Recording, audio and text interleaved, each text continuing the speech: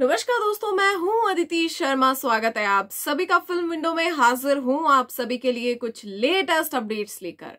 तो big boss की contestant रह चुकी अकाशा सिंह। जी हाँ अकाशा सिंह ने ट्विटर पर लगाई है हेटर्स की क्लास अब बहुत कुछ उन्होंने लिखा है। जब से अकाशा बिग बॉस के घर से बाहर आई हैं, तब से काफ़ी एक्टिव है बिग बॉस को लेकर और एपिसोड देखती हैं, उसके बाद अपना रिव्यू देती हैं। और अगर करे बात हम के किसको कर रही हैं सपोर्ट तो बिग बॉस के घर के अंदर उनके दोस्त बन गए थे प्रतीक सहजपाल। जी हाँ प्रकाशा नाम का हैशटैग भी बन चुका था।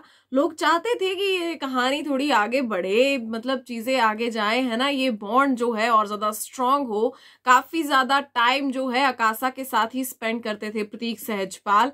लेकिन फिर अचानक से आ, मतलब अकाशा एलिमिनेट हो गई क्योंकि कुछ खास गेम प्रतीक सहजपाल से बात करने के अलावा उनके साथ टाइम स्पेंड करने के अलावा अकाशा का कोई गेम था नहीं एक्चुअली बिग बॉस के घर के अंदर तो लोग उतना कनेक्ट नहीं कर पाए। जितना भी था, सब कुछ प्रतीक सहजपाल के इर्द गिर्द घूम रहा था। उसके बाद अकाशा ने बाहर आकर काफ़ी सारे खुलासे किए और हर दिन वो कुछ ना कुछ ट्विटर पर लिखती रहती हैं।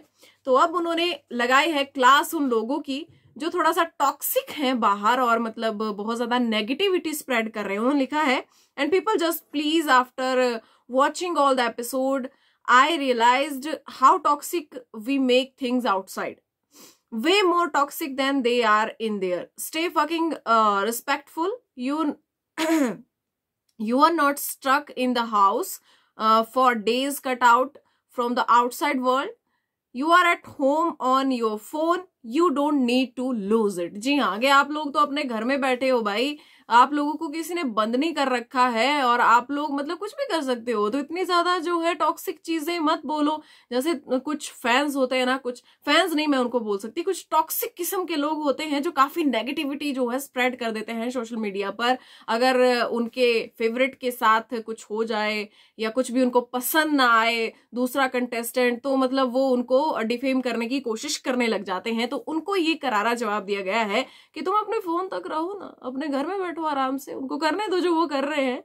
तो आपको कैसा लगा आकाशा का ये जवाब? कमेंट सेक्शन में ज़रूर बताइए। लेटेस्ट अपडेट्स के लिए बने रहिए हमारे साथ।